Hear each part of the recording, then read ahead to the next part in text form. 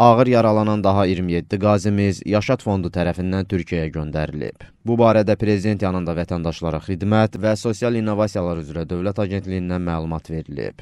Bildirilib ki, Yaşad fondu tərəfindən Türkiyədən ölkəmizə gətirilən, həmçinin yerli həkimlərin rəyi nəzərə alınaraq, qazilərimizin müvafiq müayinə, müalicə və reabilitasiya prosesi Türkiyədə davam etdiriləcək. Yaşad fondu qazilərimizin müalicəsini tam yekunlaşana qədər nəzarətdə saxlayacaq. Fond tərəfindən həkim rəyi əsasında ağır yaralı olan qazilərimizin müalicə üçün xaricə davamlı şəkildə göndərilməsi təmin edilir.